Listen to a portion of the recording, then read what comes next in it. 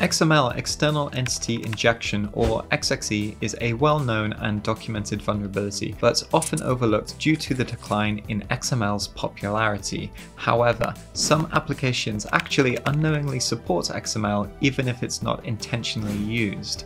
So today we'll do a quick primer and then let's take a look at how we go about finding and exploiting this vulnerability even when we don't see XML in our proxied traffic. Cyber attacks that leverage weak or stolen passwords, credentials, and secrets are the world's most pervasive cybersecurity issue, and that's why I trust Keeper. Keeper Security's next generation privileged access management solution delivers enterprise grade passwords, secrets, and privileged connection management in one unified platform. Unlike legacy PAM solutions, Keeper is fast and easy to deploy, agentless and clientless, and has no implementation fees. Plus, Keeper is FedRAMP authorized. Start your 14 14-day free trial today at keeper.io slash TCM. And of course, there is a link in the description below. If you enjoyed the video, then don't forget to like and subscribe, and let's dive in. We're going to keep our primer short, but if you like this kind of content, then let me know down in the comments below, and we'll be sure to dive a little deeper on this topic. So first up, what is XML anyway, and why should we use it? XML is extensible markup language and lets us define and store data in a tree-like structure as you can see here. We have our user object and the properties of our user are stored in these custom tags. Unfortunately, in the specification, we also have custom entities, which can be defined in the DTD or document type definition. And this leads us nicely to XML external entity injection. You see, in this example, we're creating a custom entity and then referencing it in the document. It's somewhat similar to a variable. It has a name and a value, but if we change this code to look something something like this, then the value is set to a remote file or resource. In simple cases, we can read files on the target system and we'll also often look to utilize this attack to achieve server-side request forgery too. If you want to know more about SSRF, then check out this video here. But for now, let's jump into a lab. Here we are at our lab, and the first thing I like to do is go through the application and figure out what functionality we have available to us. So we can't create an account or register or sign in here, but it looks like we can go in and take a look at some of these products. So let's take a look at the adult space hopper. We scroll down and looks like we can check stock. So we press this and we get the units back and we can check these in different countries as well. So given that there's not much else for us to explore within the actual application itself, we head over to Burp Suite and let's take a look at this endpoint. So here we have post to slash product slash stock and if we expand this a little bit, scroll down, we can see that we have some XML. So this is obviously a really important place where we need to be testing for external entities injection. So all I'm going to do here is press Ctrl R to send this to repeater. You can also right click and click send to repeater. And let's come over to here and send the request once again to make sure that it's properly formed and working, which it looks like it is. I prefer working in raw mode, so I'm going to switch over to raw, and then this is going to be a little bit easier to work with. So when we're testing for XML external entities injection, then what we want to do is create an external entity and then reference it in the document. And the lucky thing about this here is we have an example document to work with. Sometimes you might not know what tags to use, or something might be happening where you need to do a little bit of guesswork or fuzzing. But in this case, we have a pretty good idea of what the application expects and how it might handle it.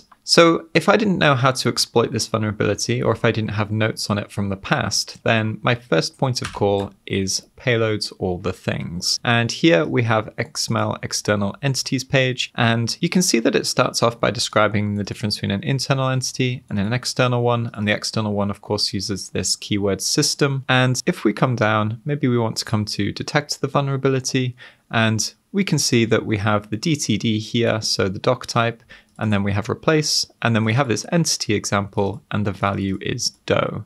So let's actually take this, paste this into our documents, and then we need to reference this entity. So we want to reference example. And as you can see here, it's been referenced in this example. So ampersand example semicolon, and we'll just copy this and paste this in. So let's put this in the first one. Send this to the application and we do get an error from the application because it was probably expecting an integer, but we also get the word dough reflected. So if we change this to Jeremy, for example, we get Jeremy reflected back. Now, that's useful to see that we can actually influence the application behavior, and this is what we should be on the lookout for all the time when we're testing something. We should never go from zero to full exploitation. We should figure out what the application does, what is the impact, how we can influence it, and then carry on. Although sometimes we get lucky and, you know, we just click and bam, we get RCE. Not all that often though, unfortunately. So let's try and upgrade this to retrieving files as the example says here. And we have this doc type once again, and then we have these entities. And what we want, I think, is this one. So we want to grab etc passwd and you can see that it's referencing the file here. So let's try this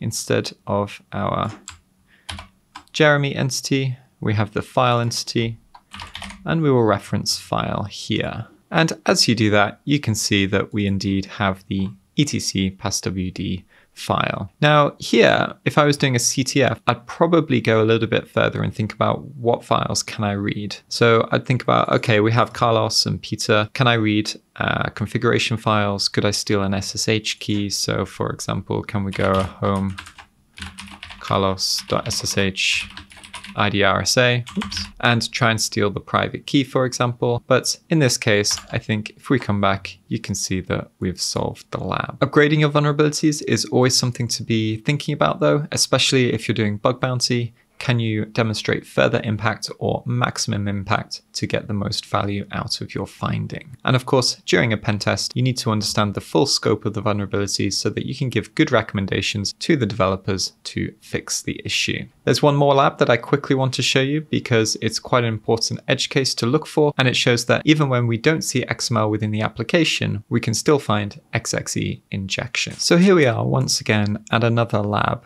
and we want to come down and take a look at this application and I'm just going to click view post and see what we can find. And here there's actually a lot of stuff to test. So we have these comments and we can add a name and we can upload a file we need to leave an email address and a website. And it looks like our input is also reflected to the page. So as a tester, I'm thinking, okay, we need to check for cross-site scripting or JavaScript injection. We need to check for malicious file uploads, especially if it's something like a PHP driven application where we could potentially upload a shell. Could we overwrite a htaccess file?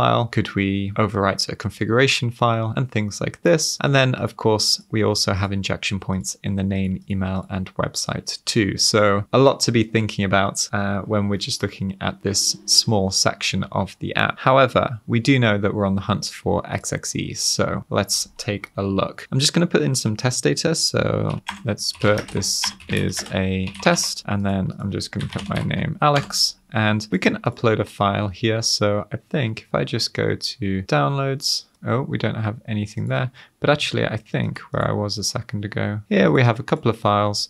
These these are actually to exploit the ImageMagick vulnerability, but they should do the trick. So let's just select those and then alex at alex.com and test.com. Post comment. Ah, please match the requested format. What if we just ignore that? That does the trick. All right, so let's come over to Burp Suite and come back to our proxy, HTTP history, pull this down a little bit, and then come down and find the post slash post slash comment endpoints. Take another quick look and we see that we get 302 found. So this is probably a successful submission and we can see our image here and we can see the email and we can see the website as well. So let's send this to repeater. Come over to repeater, send this again and we get the same thing again. So this is good. And here we don't see any XML. So we don't see anything that would say, hey, we need to test XML external entities. However, something we should test for is whenever we have file upload, can we upload files such as SVG, such as docx, and other files that support XML? So in this case, all I'm going to do is I'm going to try and remove the image, and I'm just going to put image, image here as a placeholder. And then what I want to do is change the content type to SVG and see whether it will accept an SVG file. Now we might actually need to also add the magic bytes, but let's see how we get on so far. We get an internal server error. So we get SVG transcoder exited with error null. So this looks like it might work if we have an actual valid SVG file. So let's come over to payloads all the things and let's see whether we can find a payload for images.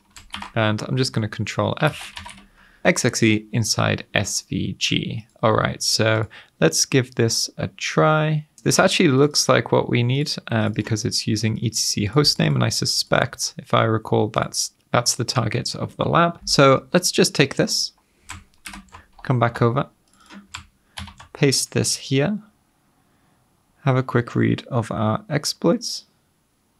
All looks good to me, so let's send this. And once again, we get SVG transcoder exited. So let's try SVG plus XML. Error once again. Let's see whether this actually did come up though.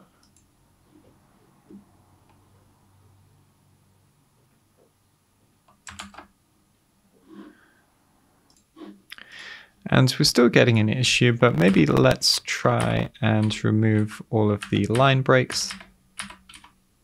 That might fix our payload. Nope. And and what I'm actually going to do is I'm going to cut this and I'm actually just going to nip into my host. Paste this into Notepad and you can't see this, but actually I can see the issue here. There is a hidden special character at the start of my payload and I'll take a quick screenshot of this so you can see this afterwards. So what's actually happened is since I've copied this from here, it's obviously taken a special character from the formatting of the page and pasted that in. I wonder if mousepad will also pick this up. Aha, here you can see we have a special character. So this is probably breaking our payload. So let's cut this. Don't save that paste this back in, and then we get 302 found. Nice. So let's come back to our lab and refresh the page. And you can see we got it a bunch of times. And if we scroll in, you can just about see the host name within the image. And if I hover over here, you can see that we get 843-0F9E4A21B. And if we submit that, we will clear the lab as this is the host name of the target machine. It's always worth checking for things like SVGs when we have file uploads. And sometimes when you see that an application is using something like JSON, try converting it to XML and see whether the application continues to function and then go ahead and test for XXE injection following that as well. And I'm sure you will find some interesting bugs and vulnerabilities if you do that. So that's it for today's video and don't forget to check out the other labs available on Portswigger's Web Security Academy and of course if you have questions you can join us every week on live stream and drop them into the chat. We do our best to get to as many questions as possible. If you haven't already check out the Academy page for full courses from TCM and of course don't forget to like and subscribe and I will catch you next time.